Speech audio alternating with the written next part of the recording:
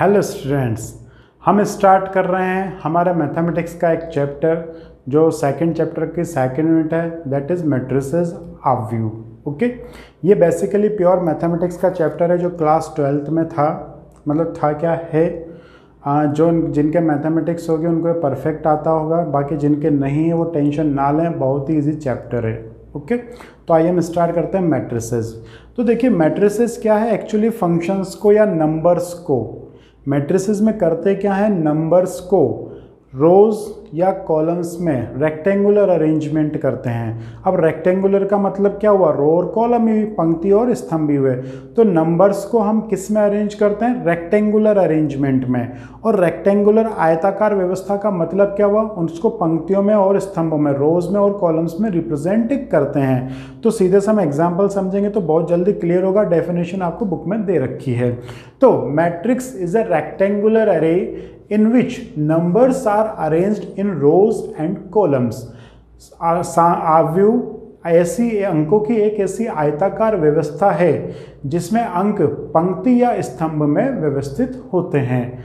और it is surrounded by big brackets इसको बड़े कोष्ठकों द्वारा परिबद्ध किया रहता है। And it is denoted by capital letters और ये किससे डिनोट करते हैं हम इसको?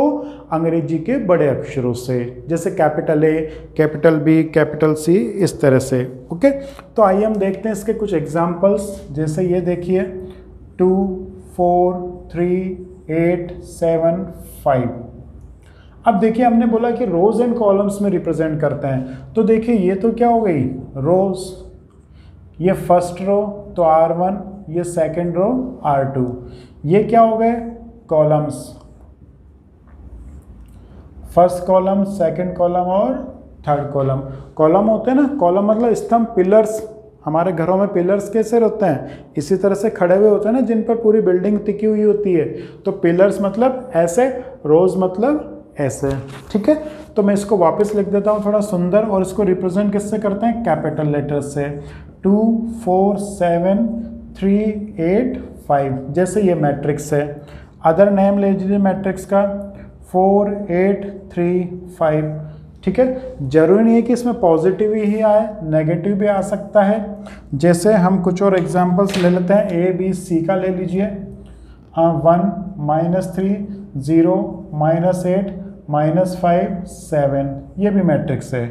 D three one zero minus three four minus five minus seven eight nine ये भी मैट्रिक्स है, ठीक है?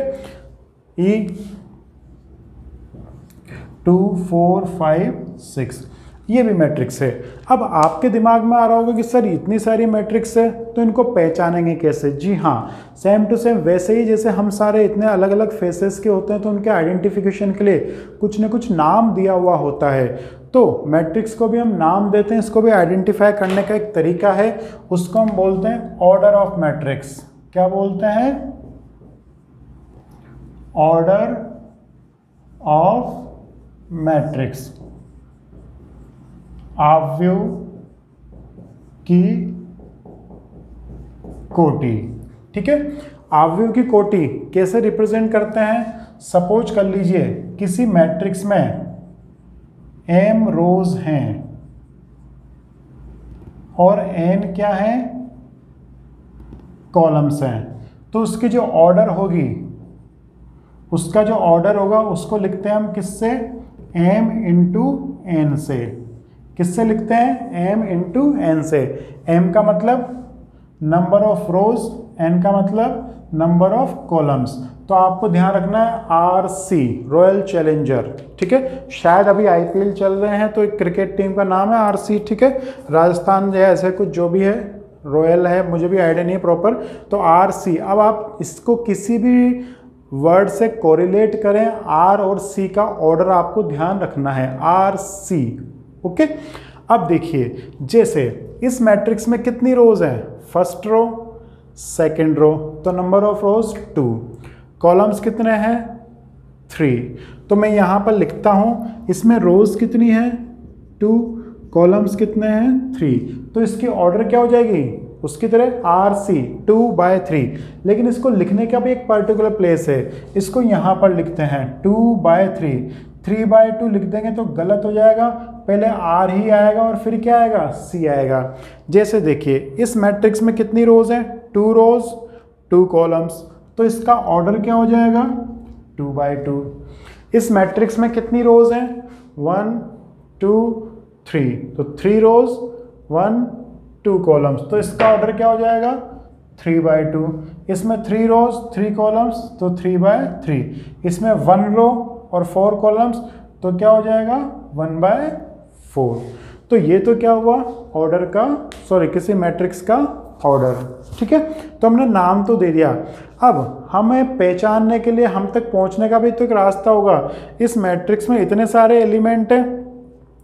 अब इसको हम क्या, ऐसे बोलेंगे कि नहीं, ये वाला, नहीं, वो वाला, नहीं, ये वाला तो मैट्रिसेस के अंदर एलिमेंट्स को आइडेंटिफाई करने का भी एक प्रोसेस है। जैसे हमारे घरों तक पहुँचने का एक एड्रेस होता है ना सेम टू सेम वैसे ही मैट्रिसेस के एलिमेंट्स को आइडेंटिफाई करने का भी एक एड्रेस होता है। उस एड्रेस को हम कैसे लिखते हैं, कैसे समझते हैं, वो भी अब देख लीजिए। बस ऑर्डर ऑफ़ मैट्रिक्स में आर सी ध्यान रखिएगा। तो इसको पॉज करके नोट कर लीजिए आप लोग। तो हम पढ़ते हैं कि एलिमेंट्स को कैसे रिप्रेजेंट करते हैं।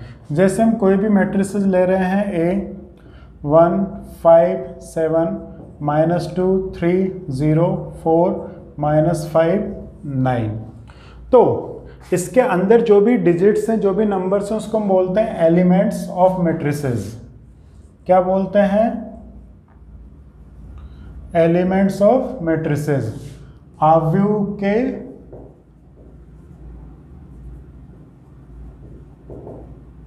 अवयव ठीक है?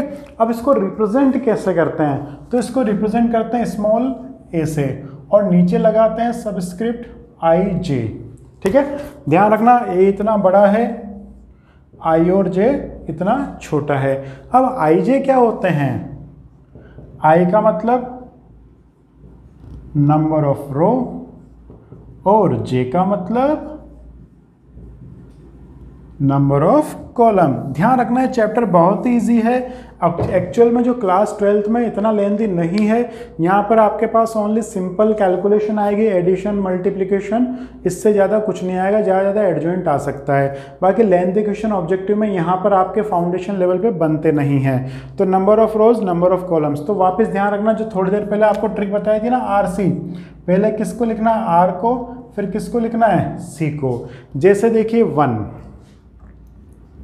वन ये कौन सी रो में है? फ़र्स्ट रो में। और कॉलम कौन सा है? फ़र्स्ट कॉलम तो first row first column A one one five की बात करते हैं। Five which row first row and it's column second column ये फ़र्स्ट रो सेकंड कॉलम में है। तो इसको हम क्या लिखेंगे? ए वन टू रो पहले कॉलम का नंबर बाद में। जैसे अगर हम बात करते हैं ज़ीरो की। तो ज़ीरो कौन सी रो में है आपके पास? Second row third column first second third second row first second third third column तो इसका एड्रेस क्या होगा? Two three okay A three two बताइए क्या होगा?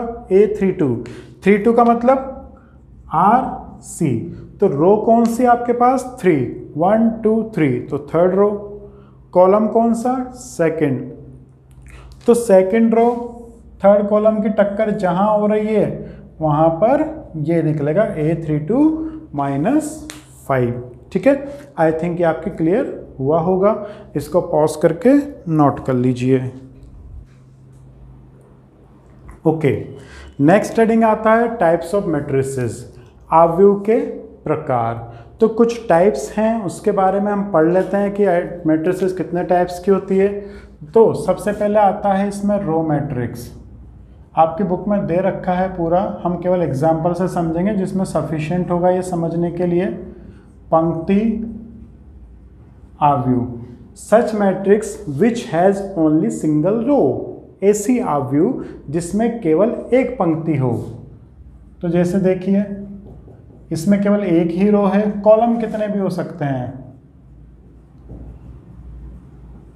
इसमें भी कितने ही कॉलम हो सकते हैं। लेकिन रो कितनी होगी?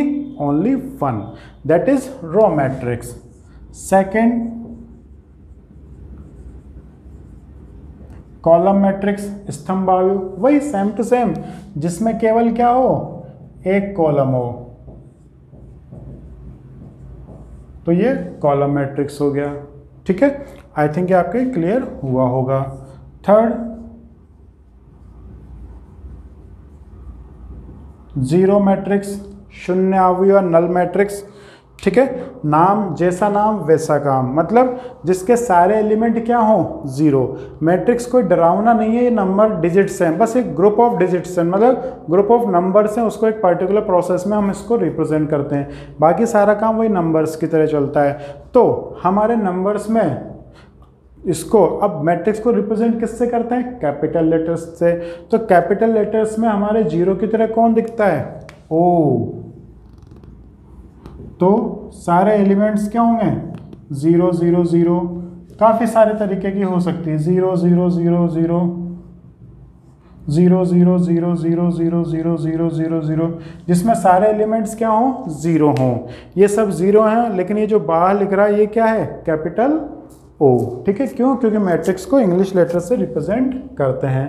तो ये क्या हो गया? ज़ीरो मैट्रिक्स ठीक है? इसमें छोटे छोटे टॉपिक्स हैं छोटे छोटे क्वेश्चंस हैं, ज़्यादा लेंथी क्वेश्चंस हमारे पास नहीं हैं। Fourth that is square matrix वर्ग आव्यू तो देखिए रेक्टेंगुलर कैसा होता है? रेक्टेंगल होता है इस तरह का। अपोजिट साइड्स इक्वल होती हैं। लेकिन स्क्वायर कैसा होता है?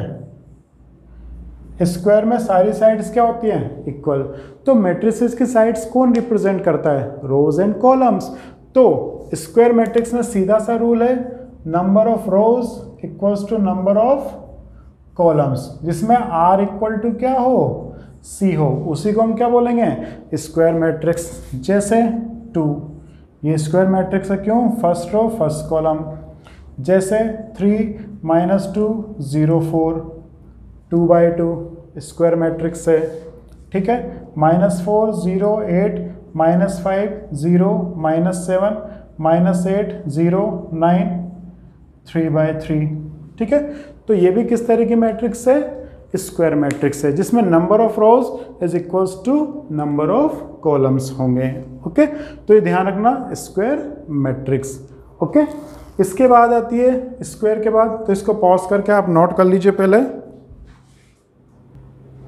स्क्वायर के बाद आती है डायगोनल मैट्रिक्स ठीक है? तो इसकी डेफिनेशन है सच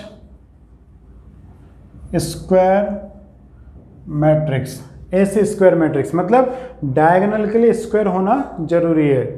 In which all elements are zero besides, main diagonals element. जिसके सारे एलिमेंट ज़ीरो हों तो स्क्वायर मैट्रिक्स एक तो किस टाइप की होगी? टू बाई टू की हो सकती है, और किस टाइप की होगी? थ्री बाय थ्री की हो सकती है। लेकिन इसमें खास बात क्या है? सारे एलिमेंट्स क्या होंगे? ज़ीरो होंगे। लेकिन किसके अलावा? मेन डायगोनल के अलावा। अब मेन डायगोनल नहीं, टेंशन आ गई क्या होता है? तो देखिए, दो डायगोनल बन सकते हैं। एक तो ये वाला और एक ये वाला। तो आप समझ ही गए होंगे, ये वाला डायगोनल क्या होता है? मुख्य विकर्ण मेन डायगोनल तो इसमें क्या होने चाहिए आपके पास? एलिमेंट होने चाहिए। इसके अलावा बाकी सारे क्या होंगे? ज़ीरो तो जैसे देखिए थ्री माइनस फोर एलिमेंट लिख दिए।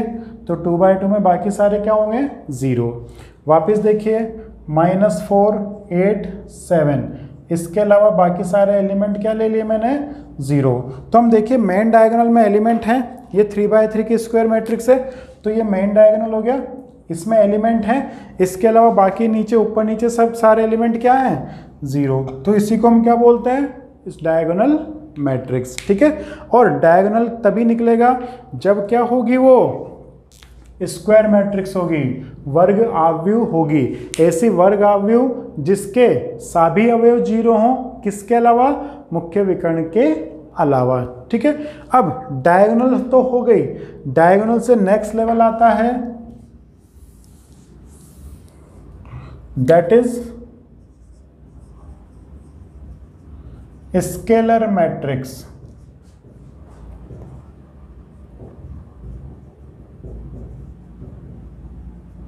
अधिशायु ठीक है? स्केलर मैट्रिक्स में क्या होता है? कि सच डायगोनल मैट्रिक्स यहाँ पर चेंज कर रहा हूँ मैं पुरानी definition such diagonal matrix in which all elements are zero अब ज़ीरो तो हो गए, क्यों? क्योंकि डायगोनल में। तो such diagonal matrix which has which have sorry grammar बहुत टाइम हो गया। Which have all diagonals, elements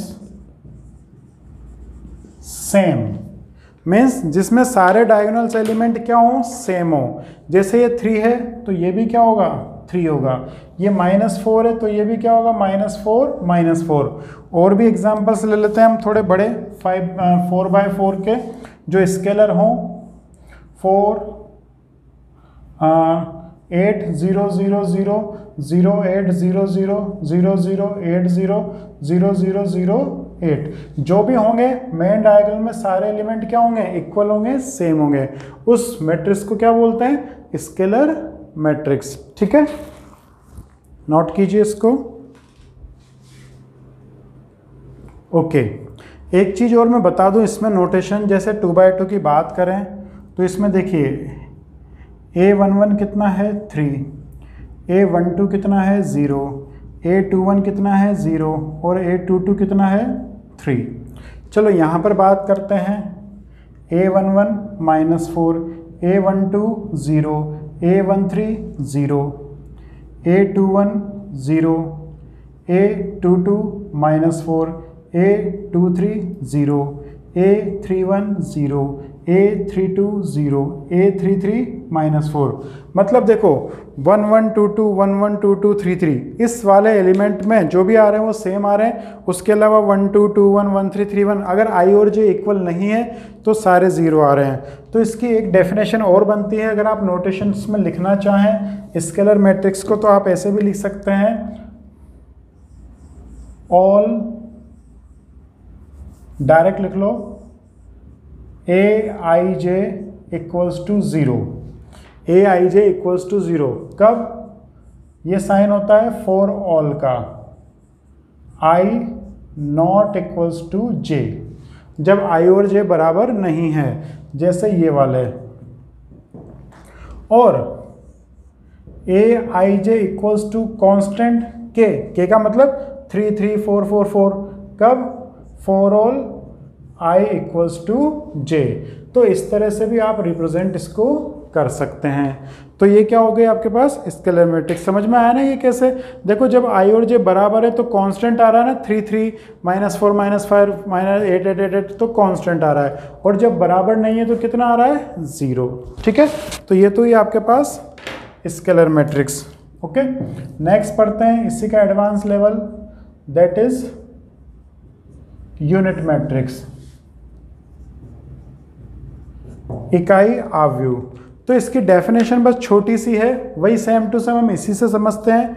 कुछ नहीं करना आपको, ये तो सेम टू सेम है। वही इसका मतलब डायगोनल और स्केलर होना ज़रूरी है। सच। स्केलर मैट्रिक्स क्यों? क्योंकि अगर डायगोनल बोलेंगे तो एलिमेंट्स अलग अलग हो सकते हैं ना। स्केलर की क्या खास बात है? सारे एलिमेंट्स सेम होंगे।